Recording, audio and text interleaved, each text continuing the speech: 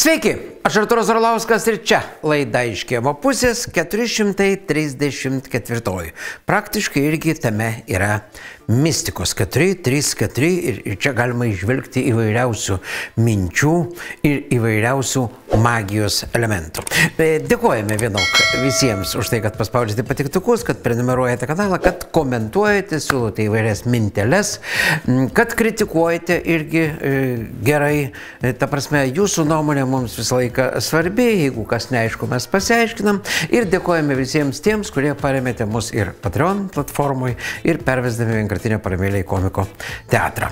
Pradedame nuo, kaip čia dabar pasakius, ir nuo geros, ir tuo pačiu tai yra bloga žinia. Gera žinia yra ta, kad e, žmonės, bendruomenė, žmonės nebejingi e, gamtai savo protestais sustabdė nelegalų kirtimą, nelegalų masinį kirtimą Šimonių girioje. Beprecedentis skandalas buvo leista iškirsti griežtai saugomą mišką. Ir tipo niekas nematė, tipo niekas nepastebėjo, kad čia yra. Ir tik gyventojams e, ėmus protestuoti, stabdyti kirtimus, paaiškėjo absoliučiai skandalingi faktai. Leidimai kirsti mišką išduoti ten, kur tokie kirtimai apskritai yra draudžiami. Įstatymais apsaugotoje vertingoje gamtinėje teritorijoje Europos bendrijos svarbos buveinėje. O aplinkos ministerija pradėjo aiškintis leidimų išdėvimo aplinkybės, net ministras atvyko ir sako, kad gali būti pradėtas iki teisminis tyrimas, kad mes čia labai susirūpinimą. Lietuva nėra toks milžiniškas kraštas, kad niekas nežinotų, kas čia kur ką kerta kad ministras ir ministerija nežinojo, kas čia kur kerta, kai žmonės jau seniai Skambijo pavojaus varpais, ten palapinės buvo žmonių pastatytos, žmonės blokavo tos kirtimus, protestavo, rėkė per visus socialinius tinklus ir tipo. Aplinkos ministerija to nematė ir dabar sako, žiūrėkit, mes labai susirūpinim, aš tai kaip pamatėm, žiūrimgi mišką kerta. Žmonės mums sakė, bet mes netikėjom, galvom, gal tie žmonės meluoja. Čia yra pasityčiojimas apskritai iš aplinkosaugos, iš gamtosaugos, iš mūsų turbūt didžiausio turto miškų.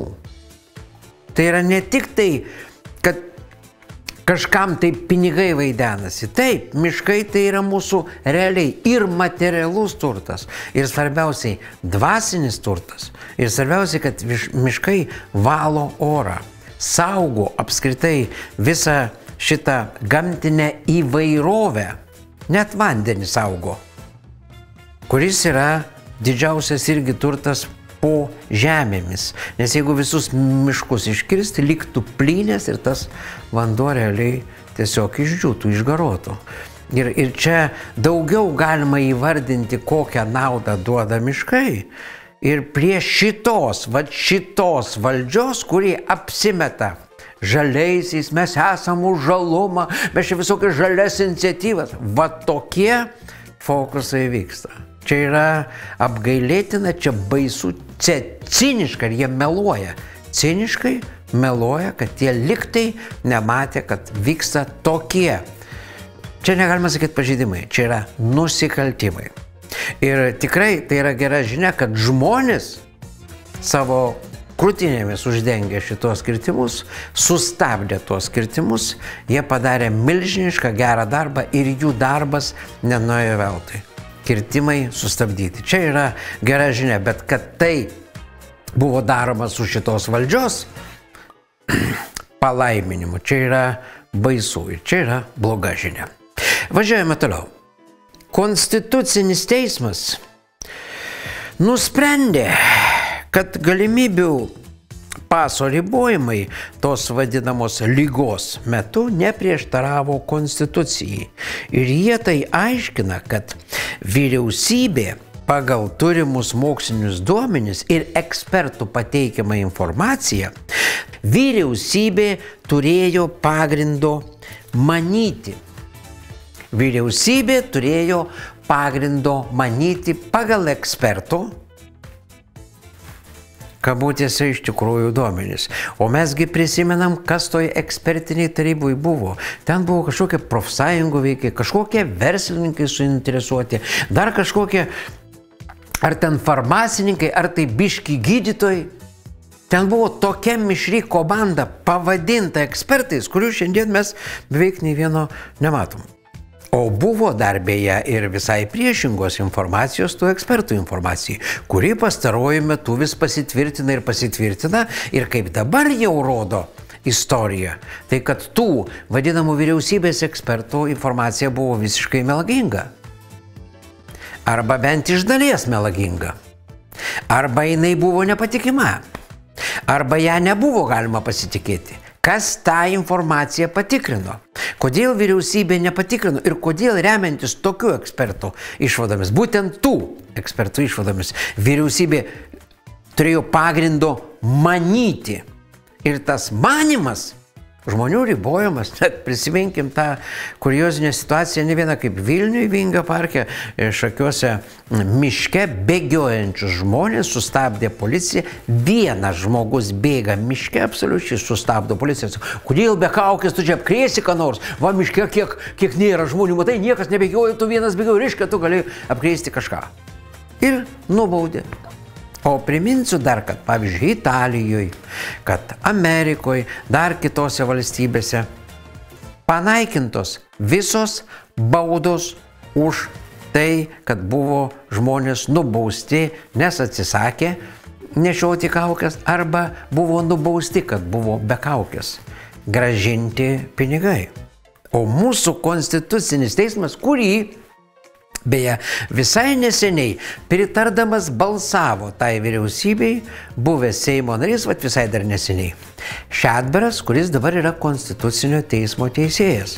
Tai yra tiesiog interesų konfliktas. Pats balsavo už tai, kad būtų ribojimai ir pats už savo balsavimą Konstituciniam teisme sprendė, ar aš ten gerai balsavau ir jis nustatė, kad jis balsavo gerai. Konkretus interesų konfliktas. Čia šitie gražoliai, kurie apskritai padarė tokią manų košę. Pagal tokią logiką vyriausybė gali atsivesti bet kokių kaušų grupelę, pavadinti juos ekspertais, pasirašyti savo kokią nori nuomonę, sakys, va ekspertai mums pasakė, kad čia va tokia nuomonė ir mes turim pagrindo manyti, nes jau konstitucinis teismas mums sako, kad mes turim pagrindo manyti ir padaryti, ką nori. Uždaryti mus visus į konslagerius, nes nu tokia nuomonė ekspertų. Kas tie ekspertai? Jie turi galimybę, turi kompetenciją spręsti kažką. Nieko nėra. Bet čia jau yra pasityčiajimas realiai iš konstitucijos šitos vyriausybės ir dar vienas eilinis įrodymas, kad konstitucijos teismas, burdamas iš kažkokių dvasių ir kavos tirščių, jau pavirto į klaunadą visišką. Visišką klaunadą. Ir sutripė, patys sutripė konstitucija. Klausimas, kam iš vis reikalingas tas konstitucinis teismas, kad šitie vad gražoliai turėtų gerus atlyginimus ir burtų iš kavos tirščių. Tai čia tokių būrėjų gariūnų turguose manau, kad mes už tokį atlyginimą surastumėm ho, ho, ho, ho, ho. ne vieną šimtą. Ne vieną šimtą. Visi ir prie burtų tikrai geriau. Kita žinutė, judame toliau. Vilniečiai džiaugiasi vaikų seksualizavimu. Štai matote, Puškino mokykla, džiaugiamės, jog yra litiškumo kuprinė, džiaugiamės, jog stalų žaidimas, litiškumo kuprinė, socialinės pedagogės Violetas Palaimėlis dėka jau gimnazijoje. Šis žaidimas lavina vaikų ir jaunimo lytinį raštingumą, padeda spręsti visuomenio mokslo ir žmogaus teisėmis grįsto litiškumo augdymo įgyvendinimo Lietuvoje problemą. Žaidimas litiko, litiškumo kuprinė kuprinė padės mokiniam gauti visą vertę jų amžiui pritaikytą informaciją. Mes jau žinom, kaip jie vaikų amžiui pritaiko informaciją. Čia matote čiožyklą. Čia yra vaikučiam čiožykla, mažiukam vaikučiam čiožykla. Ir nereikia aiškinti, kas čia yra pavaizduota ir kas ten, kur ten, kodėl suinstaliuota. Ir tokia nekalta irgi prie tos kuprinės. Ir tas litiškumas taip jau brukasi į mokyklas. Priminsiu, kad Tūlas profesorius Landsbergis sakė, o kas tas jūsų šeimas puola? Man tik tai vienas klausimas. Ar kas nors matėt karalienės Mortos mokyklose litiškumo augdymą? Va čia klausimas visiems. Bet pasižiūrėkite, kaip jie brukasi į mokyklas ir kaip ministerija, švietimo, sporto e, ir mokslo ministerija sakė, sakė, kad žinokit, ten ekspertai mokys mokytojus ir jokio litiškumo, jokio LGBTumo nebus. Štai pasižiūrėkit. LGBT plus psichologijos grupė mokyklų darbuotojus, mokytojus, mokyklų psichologus, administracijos darbuotojus kviečiame iš prieš konferencinį seminarą diskusiją LGBT mokiniai ir LGBT temos mokykloje. Renginys vyks spalio 19 dieną 16.30 18.00 nuotoliniu būdu. Dalyvavimas nemokamas, registracija būtina. Atspėkit, kas mokės. Nemokamai, bet kažkasgi sumokės toms mergužėlės, kur visą laiką gaudavo pinigus iš švietimo ministerijos, iš vairiausių fondukų, per socialinius fondukus, iš LGBT organizacijų, kuriuom jau kaip rodėm vienoje laidoje, virš 400 tūkstančių per metus sumoka įvairios europinės organizacijos, brūkdamos čia vat visą šitą ant šeimų nepuolančią programėlę. Kas mokės? Mūsų visų pinigai skiriami tam, kad žalotų mūsų vaikų psichiką. Jau psichologai to užsėmė. Žiūrėkim toliau. Programa LGBT temos mokykloje ir skaito Alina Martinkutė Vorobei. Mes jau ją rodėm, tai yra šeimų asociacijos veikėja. Jis pristatoma kaip psichologija, mokytoja, lektorė, andragogė net, besigilinant į litiškumo ir litiškumo augdymo problemas. Kas toliau? LGBT moksleivių mokykloje. Pranešimas skaito Rasa Katinaitė. Tolerantiško jaunimo asociacijos psichologija. Ir vėl ta pati šaika, ta pati LGBTistų šaika. Ir be abejo Lina Januškevičiūtė. Įvairovės temos ir mokykla. Kaip aš jau nekartą sakiau ne vienoj laidoj, tie patys žmonės, tie patys veidai sukasi ratu ir juos galima suskaičiuoti ant dviejų rankų pirštų maksimum. Ir tai yra visa ta LGBT bendruomenė, kuri praryja virš 400 tūkstančių iš Europos ir dar gauna iš švietimo ir mokslo ministerijos ir sporto, iš socialinės apsaugos ir mokslo ministerijos ir dar iš įvairių ministerijų per įvairias programas, va šitaip, milžiniški pinigai sukasi dešimčiai žmonių. Ir jie save vadina bendruomenė. Bet jie kaip partizanai, nes čia partizaniniai kovos metodai, brukasi visur ir visur daro spaudimą švietimo darbuotojams, mokytojusgi mokys, va šitie ekspertai. Nors sakė, kad ne, ne šitie mokys. Štai akivaizdus pavyzdys. Ir įrodymas, kas čia tokie. Beje, jeigu pasižiūrėti, kas tie vadinami psichologai, pasižiūrėkite, kas jų dokumentuose rašoma. Lietuvos psichologų sąjungos LGBTQMKTKTPI plus psichologijos grupės nuostatai ir pabraukta. Teiti, teikti rekomendacijas psichologos ir kitus specialistus rengiančioms institucijoms dėl su LGBTQIA plus susijusių klausimų įtraukimų į studijų programas. Skatinti LGBT plus psichologų geroviai palankios darbo aplinkos kūrimą. Skatinti savo palankios darbui aplinkos kūrimą už mūsų visų mokesčių mokėtojų pinigus. Va tokie fokusai. Švietimo, sporto ir mokslo ministerija melavo absoliučiai visos tos Visos tos rugsėjo pradžioj kilus skandalos veikėjus melavo, sakydamos, kad nebus jokio LGBT. Čia akivaizdžiausias įrodymas, kad vaikams bus plaunami smegenys, mokytojams bus plaunami smegenys ir kažkokios bemokslės mergužėlės, kaip Lina Januškevičiūtė ir visos tos kitos, absoliučiai bemokslės, bevaikės, mokys kaip mokyti vaikus. Komentaro daugiau neturiu, akivaizdžiau negu akivaizdu. Bet tokia situacija mulkina mus visus kaip aklus kačiukus. Važiuojam toliau. Neformalus suaugusių švietimas. Čia toj vadinamoj darbo biržoj nauja mokymo programa. Neformalusis suaugusių švietimas, tokia nauja profesija, nuomonės formuotojas suaugusiems. Influenceris. Mokymo trukmė 12 savaičių, 60 dienų, 480 valandų. Kaina 1920 eurų. Informacija apie specialybę. Čia pasirodo specialybė yra. Šiandien, kai didelė gyvenimo dalis persikelia į virtualų pasaulį influenceriais arba nuomonių formuotojais yra vadinami tie žmonės, kurie naudodamisi savo socialinių tinklų platformomis gali paveikti pirkėjų nuomonę arba nulemti jų sprendimą pirkti. 1920 euriukų neformalus suaugusiųjų mokymas. Va čia, kaip sakoma, kažkas už tai jau vieni knisa protą šiaip pagal užsakymus ir pagal apmokėjimus, o dabar kiti dar knis protą, kaip tapti tokiais, kurie knis protą.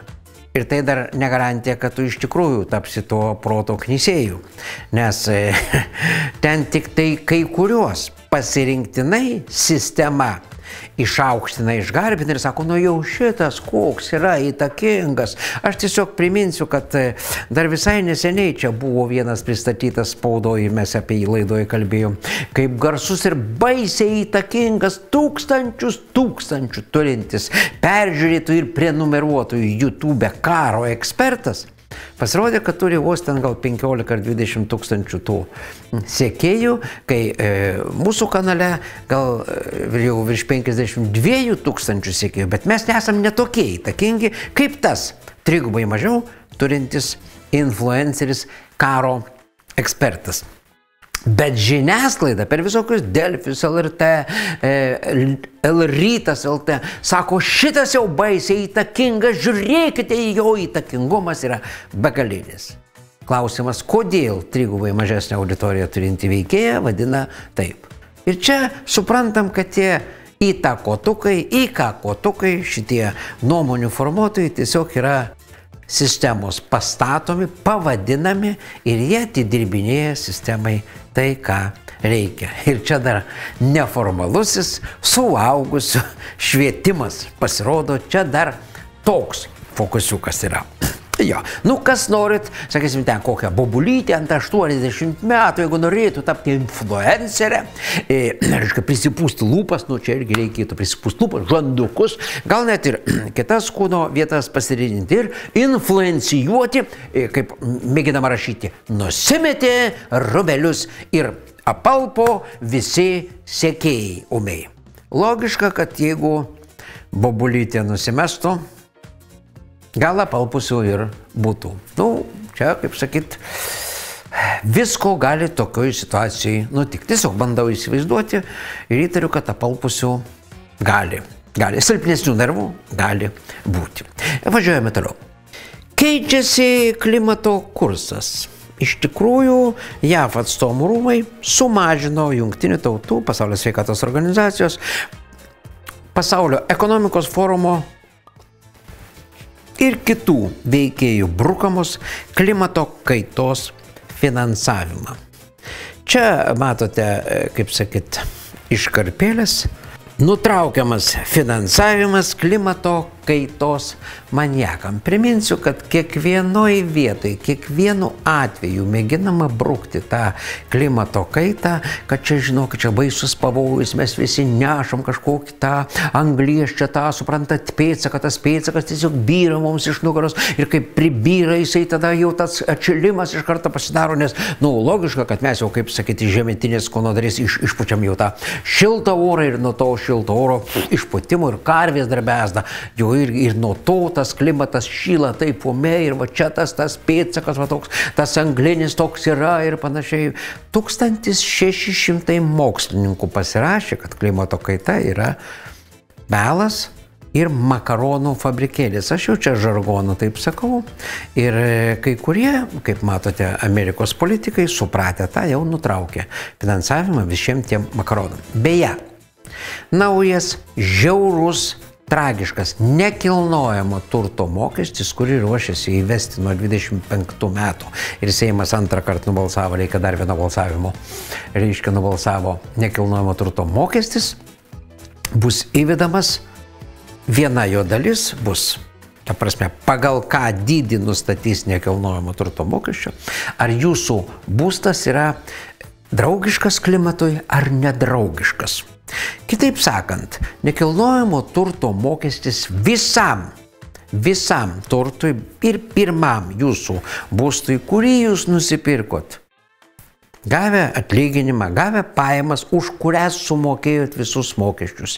Jeigu jį remontavot, sumokėjot ir PVM visus. Ir PVM sumokėjot ir už tą būstą. Reiškia, jau ten sumokėta 30-40 procentų įvairiausių mokesčių už tą pirktą būstą.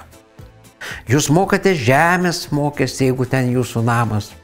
Dabar apmokestins ir jeigu tas būstas vertas kokiu 200 tūkstančių vertės, tai čia matote lentelėje, kokioj savivaldybei kokią dalį turto neapmokestins. Vienoje savivaldybėje, kaip matote, 60 tūkstančių, kitoj, sakysim, ten gal 10 tūkstančių, bet jeigu, sakysim, jūsų namas, grubiai tariant, aplink Kauną yra 200 e, tūkstančių vertės, atmeta 60 tūkstančių, čia tipo neapmokestinama ta vertė ir nuo 140 tūkstančių jums gali įpiešti, jeigu tai senos statybos namas, tipo jis neekologiškas, tipo jisai mm, klimatui labai daro didelį poveikį tas jūsų namas, gal stogas koks nors labai pavojingas, klimatui labai pavojingas. Ir čia gali įpiešti 4 procentukus. 4 procentukai per metus, tai yra 5600 eurų iš jūsų kišenės už nuosavą namą. Kitaip sakant, jūs nuomosit iš valstybės maždaug 500 eurų per mėnesį, mokėdami valstybei nuomą už savo nuosavą namą, kurį pasistatėt už savus, nusipirkot už savus, remontavot už savus. Čia yra milžiniški pinigai. Aš kalbu apie maksimalę reikšmę e, ir kadangi senas namas, tai ta maksimali reikšmė ir gali būti panaudota. Naujos statybos būstai gal mokės mažiau, bet realiai per Europos komisiją prie to pačio, čia tipo Europos komisijos reikalavimo. Lenkai nusispjovė į šitą mokestį ir pasiuntė tą Europos komisiją. Kodėl mes nenusispjovėm? Čia klausimas jums visiems, kodėl išrinko tokius balvonus, kurie kažkokiu nupušusiu Europos biurokratų klauso. Europos komisija dar siūlo priversti visus namus padaryti tokius, kurie bus AA, net ir seni namai privalės pasiekti tą A šiluminę varžą tos reikalavimus, kad būtų tokio, tokios šiluminės, sakysim taip, varžos namai. Ir jeigu tu neturėsi pinigų už ką pasišildyti savo namą, reiškia, tu mokėsi didžiulės baudas ir nekilnojamo turto, ir didžiulės baudas. Ir dabar jau žmonės moka infrastruktūros mokestį prieš statydami namą, kuris gali siekti 20, gal net ir 45 eurus už kvadratą. Už kvadratą nepastatyto namo. Ir čia vėlgi nustato savivaldybės ir ką norės, tą prismauks. Ir dar kas yra baisiausia visam šitam šlikščiam įstatymė, tai, kad jeigu pensininkai neišgalės sumokėti to nekilnojamo turto mokesčio, jiems skola kaupsis ir po jų mirties tą skolą turės sumokėti jų vaikai, tai yra paveldėtojai. Ir jeigu jie nesumokės, turtas bus tiesiog konfiskuojamas. Valstybė tiksliau net ne valstybė. Negalima valdžios sulyginti su valstybė. Valdžia galviai šitie yra visiški mūsų valstybės priešai. Šitie šunpalakiai sėdintys valdžioj konfiskuos jūsų namą. Galvokite, ką renkate į valdžią. Galvokite, kad šitie vagis nori atimti jūsų namus. Jūs balsavote beleką už, kas už bonką, kas už dar kažką, kas už šiaip gražius pažadus. Jie atėjo atimti jūsų namų. Ir šitas nekilnojamo turto mokestis prisidengiant klimato kaita, kurią Amerika jau, kaip rodėm, nustojo finansuoti šitas mokestis tai yra konkretus turto nusavimas. Tai yra tai, ką reikalauja padaryti švabas. Šitas velnės kito žodžio neturiu. Kaip jis pasakė, jūs nieko neturėsit ir busit laimingi. Ir šita dabar valdžioje esanti šaika, kitaip negaliu pasakyti, vykdanti visus to švabo nurodymus, Tevinė sąjunga, pif, net, net nepatogu sakyti tokio žodžio, konservatnikai, teisiami liberalai ir šitie apsinešę amžinai laisviečiai, jie nori atimti iš jūsų jūsų namus.